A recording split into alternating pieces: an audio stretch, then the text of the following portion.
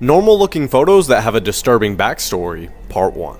This photo shows the Russian ambassador to Turkey, Andrei Karlov, who's doing a conference at an art gallery. The man standing behind him is about to assassinate him. This photo was found on the camera of two vacationers who were swept away by the 2004 tsunami, which claimed the lives of over 240,000 people. The man who took the photograph of this bear is Darsh Patel, a 22 year old who went hiking with some friends. Shortly after taking it, he was killed by the same bear. This picture was taken by the crew of a ship who saw this 11 year old girl floating on a disintegrating float. Her whole family was murdered on a sailboat by the hired captain who left her to drown on the sinking boat. She drifted for four days with no food, no water, and sunlight beating on her skin. When the captain heard she survived, he killed himself. Normal looking photos with disturbing backstories, Part 2. This Snapchat was the last photo ever taken of Sydney Loofe, a woman who was killed by her Tinder date.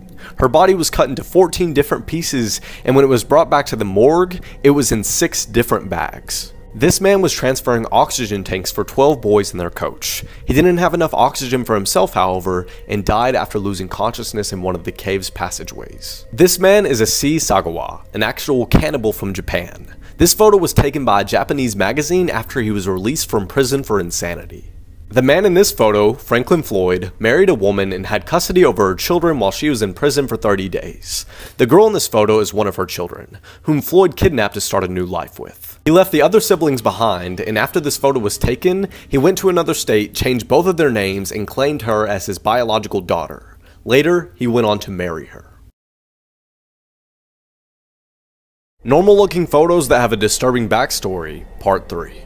All the photos used in this video are from a documentary that was recommended to me by this really cool app. Click the link in my bio to download it. Right after this photo was taken, a bomb went off in the red car beside the boy on his dad's shoulders. The boy and the father miraculously survived, however, the cameraman and 28 others died, while 220 people were injured. The woman in red standing on the railing is a Japanese exchange student. Right after this photo was taken, she lost her footing and was swept over Niagara Falls and fell to her death. The man in this photo is David Johnston. 13 hours before the eruption of Mount St. Helens in the 1980s. His last words over the radio were Vancouver, Vancouver, this is it, before he passed away and his remains were never found. The man in this photo is Tyler Hadley, who just before this photo was taken, murdered both of his parents and left their dead bodies in the house and proceeded to throw a house party. Normal looking photos that have a disturbing backstory, part 4. This is former NBA player Mark Jackson's basketball card. In the background are the Menendez brothers. They're sitting courtside shortly after killing their parents and just before getting arrested. The 17 year old who took this photo told his family members that he planned to hike the stairway to heaven. He texted multiple pictures before his disappearance, and shortly after, the family noticed a man in this photo. While this photo may seem like an ordinary picture of footprints in the sand, they actually belong to a four-year-old little girl who shortly after this photo was taken, drowned in the ocean. The two brothers in this photo are at Sequoia National Park. This photo was taken moments before they were both struck by lightning and both shockingly survived. There was a tradition in Victorian England to take photos of dead people, often dressed in their best clothes, and pose as if they were taking a family portrait. If you look at this photo for long enough, you'll notice something is a little off about one of the children. Normal looking photos that have a disturbing backstory, part 5. The man who took this photo of his wife scuba diving off the Australian coast also managed to take a photo of Tina Watson, who was drowned by her husband that day in 2003. Dutch teenager Gary Slok and his mother Petra posted this photo to Facebook moments before their plane was shot down by Russians, killing all 298 people aboard. At first glance, it looks like this woman is resting peacefully, until you notice that that's a car roof twisted around her like bed sheets. She jumped from the top of the Empire State Building and happened to land in this very graceful, peaceful way. This is the last photo ever taken of 18 year old Jolie Callan, who after this photo was taken was shot twice in the head and pushed off of the cliff by her ex boyfriend. While this may seem like a normal family photo, just below the wife is a rattlesnake about to strike her arm. She was bitten and survived, but the dog died. Guys, make sure to go follow my Instagram at Jack H. Neal. For the next 24 hours, I'll be following every single person back. Normal looking photos that have a disturbing backstory, part 6. This photo shows a man and a woman on the 70s game show, The Dating Game. The man in this photo who won the date with the woman is Rodney Alcala, a famous serial killer. Cheryl Bradshaw, the woman, found him extremely creepy and after the camera stopped rolling, refused to go on a date with him, possibly saving her life. This photo shows 1954 Hermosa Beach, California. This couple's 19 month old son was dragged out to sea. This shows George W. Bush receiving news of the 9 11 attacks while reading to a group of school children. While this photo may seem like an ordinary cop, he actually just got arrested after killing 77 people and injuring 250 more. He traveled to an island where a youth camp was held and started shooting at random. Children who didn't know he was the shooter went to him for protection because he was dressed like a cop and he shot them immediately. Their only form of escape was swimming off the island. Normal looking photos that have a disturbing backstory, Part 7. Blanche Monnier was a free woman until she began dating a man that her mother didn't approve of. To maintain control of Blanche, she chained her to this bed for 25 years and nearly starved her to death. This painting of a dog looking into a gramophone is titled His Master's Voice, and it's based off the painter inheriting his brother's dog, and the brother had just passed away. He noticed that the dog became intrigued when he played recordings of his brother's voice. This photo shows John Lennon signing a copy of his latest album, Double Fantasy for a fan. The man on his right was his killer. This photo was taken by two girls out for a walk on the Monon High Bridge in Indiana. They were both found dead the following day. The man in this photo was presumed to be their killer, but he was never found. These teeth were removed from the side of a denture clinic in Nova Scotia. The owner of this place killed 22 people in the worst mass shooting in Canadian history.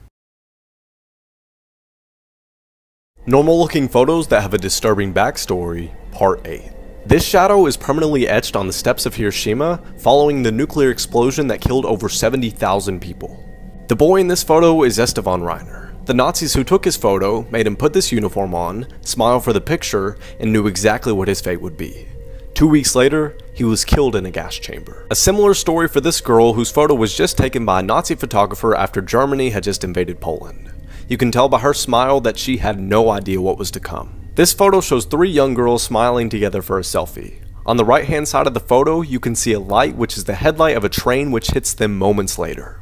While this photo appears to be just an ordinary large class photo, the two boys at the top left are responsible for the Columbine High School shooting, which at the time was the worst high school shooting in American history and killed 12 students and one teacher.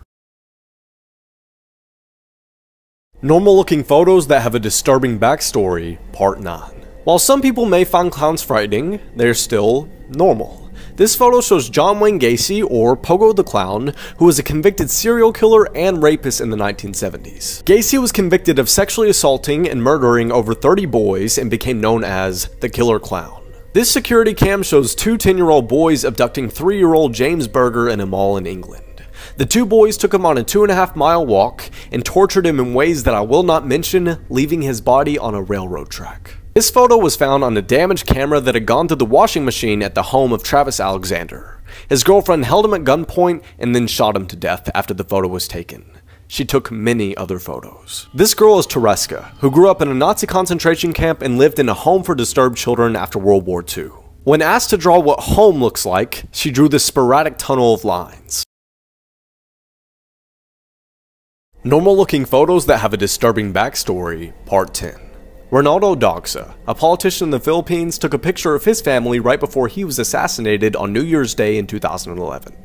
The man in the back shot him twice while his family was forced to watch. The man holding the puppy is Yukio Araki, a kamikaze pilot who just one day later would crash into the USS Braine, killing 66 of the crew members and taking his own life. Yukio was only 17 years old, knowing completely well that he'd be going to his death the next day. The smiling man in this photo is Nazi Joseph Goebbels, who is in a 1933 League of Nations meeting, and in the next photo, his expression completely changes. His expression changes from cheerful to hatred because someone told him that the photographer was of Jewish descent. This seemingly normal photo shows three men in judo attire. The man on the right, however, is Osama bin Laden, the terrorist responsible for the 9-11 attacks on New York City. Normal looking photos that have a disturbing backstory, part 11. The girl wearing the veil is Elizabeth Smart, who was kidnapped for 9 months by the man on the far right. This photo was taken at a party the kidnapper crashed with Elizabeth, and she was forced to wear this veil at all times to keep her from being recognized in public. While this photo may seem like a bunch of astronauts hanging out at the pool and having a great time, it's actually the crew of Apollo 1. They died inside the capsule on the left, unable to escape the fire. This is Chernobyl Elephant's Foot, a massive radiation from the reactor core meltdown.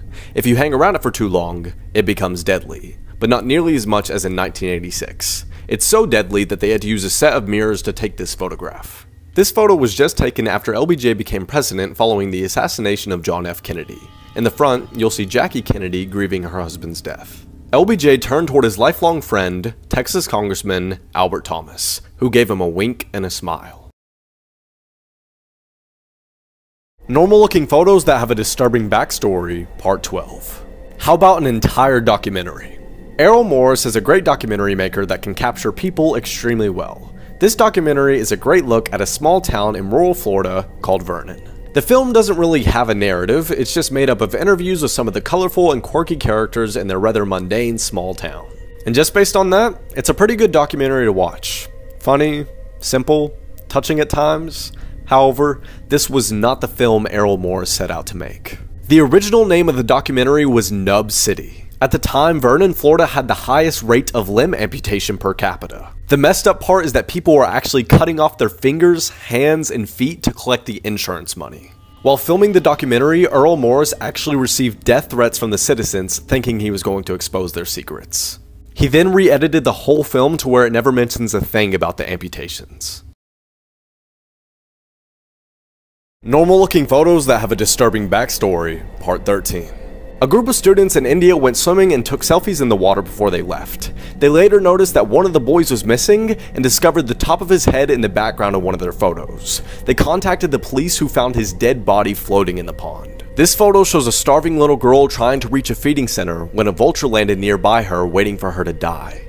The photographer, Kevin, was told not to touch any of the children out of fear of getting a disease. In the Victorian era, families used to dress up their dead relatives and take pictures with them. You can see that the image of the mom and the dad is blurry because they had to wait for the camera shutter to cycle, but the daughter's photo is perfectly clear. The man in this photo is Nasala. He hadn't met his rubber quota for the day, so his bosses cut off his daughter's wife and hand, and then they killed his daughter and wife and then cannibalized them. This photo shows Nasala being forced to stare at his 5-year-old daughter's chopped off hand and foot. Normal looking photos that have a disturbing backstory, part 14. This photo shows Jesse McBain and his girlfriend Patricia Mann on their way to a Valentine's Day dance. When they failed to return to their dorms, their roommates called the police who found their bodies tied up in the woods three days later. They had been tortured and died side by side. What seems like a cheerful teenager is actually 17 year old Jeff Franklin, who had just used a hatchet and a sledgehammer to murder both of his parents and injure several of his siblings in 1998. In 1904, 24 year old Ocey was giving birth in her mother's home. Her mother actually hated her and drugged Ocey on morphine and forced her to stay in bed. She then administered a lethal overdose and told doctors that she had died in childbirth to collect the insurance money, worth over $850,000. This photo shows police carrying serial killer and cannibal Jeffrey Dahmer's refrigerator into a van. Dahmer killed and cut up over 17 boys, and you can tell the police are quite disturbed by what's in the fridge. Normal looking photos that have a disturbing backstory, part 15. When this Swedish teen showed up to school one day dressed as Darth Vader, his classmates naturally wanted to take photos with him, thinking it was an early Halloween costume. However, in a haunting twist, he used a sword to kill a teacher and a student, injuring many others. In 1995, at the age of 61, American artist William Utermohlen was diagnosed with Alzheimer's. In response to his illness, the artist painted a series of self-portraits, and you can see from these photos how quickly his mind deteriorated. While this photo appears to be of a damaged rustic wall, it's actually from inside of a concentration camp gas chamber, with walls covered in nail marks from victims trying to escape their doom. These aren't decorations or birdhouses. Pictured here is an Indonesian Torajan tree grave for babies. Once a baby dies, its body is buried inside the trunk of a living plant so it can be absorbed by nature. Normal looking photos that have a disturbing backstory, part 16. The man dressed as Santa Claus is Bruce McArthur. Over seven years, he would lure men through a dating app, murder them, and spread their remains in planters boxes. This painting, called Christina's World, seems like a normal girl laying in the grass. However, Christina suffered from a debilitating disease that left her unable to walk, so she crawled everywhere and lived a pretty grim life. This photo shows a prisoner of war returning from Vietnam being greeted by his wife and kids. However, the day he was released, the wife sent him a Dear John letter, meaning that she had found another man while he was in prison. Alan Hruby, a freshman at the University of Oklahoma, murdered his entire family in 2014. The next day, he drove down to Dallas for an OU Texas football game, where he took this picture in a hotel room with his friend. It can be assumed from this Instagram post that he was trying to hide his identity, however, he quickly confessed and received multiple life sentences. Normal looking photos that have a disturbing backstory, part 17.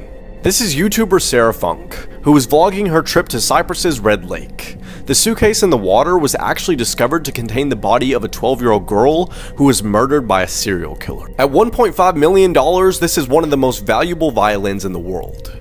The initials WH stand for Wallace Hartley, who was the lead violinist aboard the Titanic. This was the instrument he played the night the ship sank before Wallace himself died. This is Jimmy Savile, a famous DJ who was even knighted by the Queen of England. However, he was a pedophile who raped over 300 children at the hospitals he ran, and he even raped their dead bodies. A couple was staying at an underwater cabin at the Manta Resort. This photo shows Steven proposing to his girlfriend through the cabin window. She said yes, but when she waited for her fiance to return, he never made it out of the water and drowned. Normal looking photos that have a disturbing backstory, part 18. The girl in this photo was arrested for torturing and killing animals. She filmed herself doing it and even posted it online. She hanged her dogs by their collars, nailed them to walls, and even shot them with an airsoft gun. She would then cut them open and rip out their internal organs. This sweet looking little girl is Genie, also known as the Wild Child, who spent the first 13 years of her life chained to a chair and this photo was taken moments after she'd just been rescued. This normal looking scenic painting features the ocean with the night sky.